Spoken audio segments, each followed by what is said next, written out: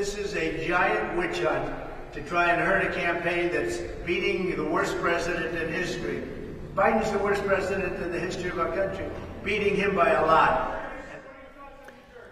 Trump's hush money trial will start on Monday now that all the jurors have been picked. A New York appeals court also rejected Trump's last minute bid to halt the trial, the defense saying jury selection was unfairly rushed. Trump faces 34 felony counts of falsifying business records to cover an alleged sexual affair and payments. Joining me now is Eric Ham, our CTV News political analyst. Eric, thank you as always. It's good to be here. Uh, an interesting day. We'll touch, we'll touch briefly on this. Uh, the man, the unfortunate man who set himself on fire, he's now died in front of the courthouse yesterday. Doesn't look like that was any kind of a protest or anything.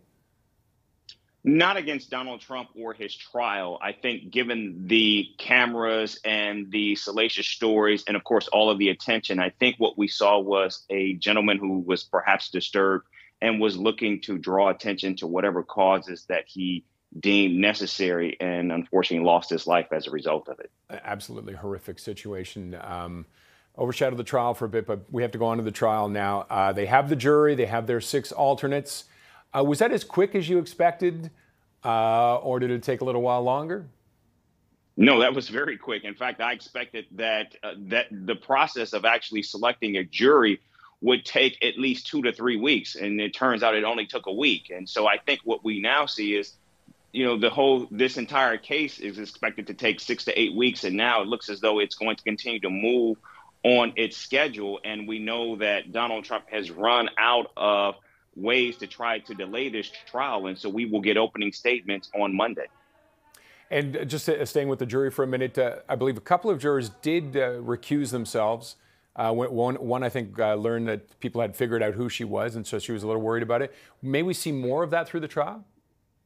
Well, I think if that was going to take place, it would have happened before the actual trial is set to begin. And so I think now the jury that that is seated, as well as the alternates, I think those are the individuals that are actually going to see this trial through, unless something untoward happens or there's some type of illness or some type of unseen emergency where people may have to recuse themselves. But of course, that's now why you have those six alternates. So I think we're going to see a trial actually begin in earnest of Donald Trump in this actual case. And let's talk about what happens on Monday. Prosecutors have been uh, pushing to see what they can and can't discuss. What uh, what can we expect on Monday?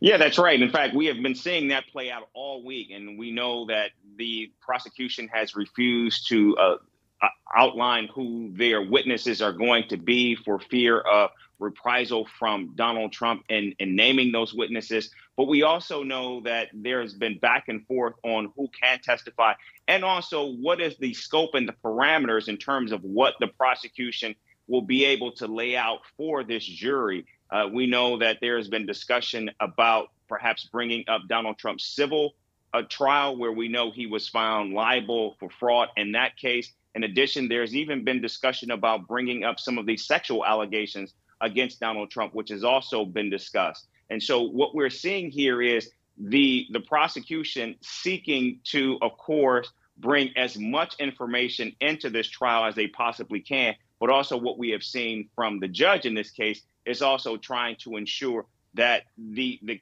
that the prosecution stays within very tight parameters surrounding the election interference that is central to this case. And what about the defense? Do they have uh, any more delay tricks up their sleeves or attempts at least? No, not at this point. In fact, we saw just on Friday that they were still trying to delay this trial, but Judge Merchan has been very iron fisted in his ability to move this process forward. And we, we've seen just how aggressive he has been, not only on pushing back on the defense and Donald Trump specifically, but also ensuring that this trial actually moves forward. And it appears as though he's going to keep this trial on schedule and run a very tight ship, which is why I think we could actually see a verdict in this trial before summer. Which will make for a very uh, interesting campaign.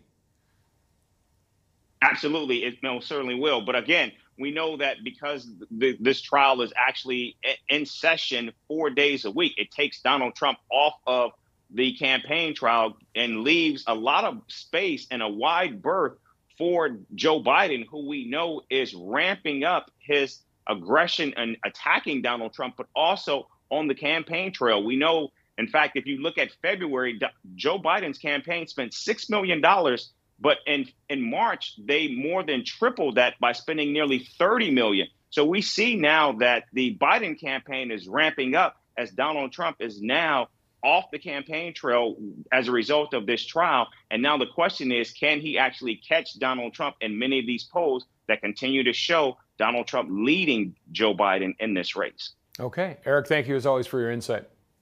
You bet. Thanks for having me. Eric Ham is our CTV News political analyst.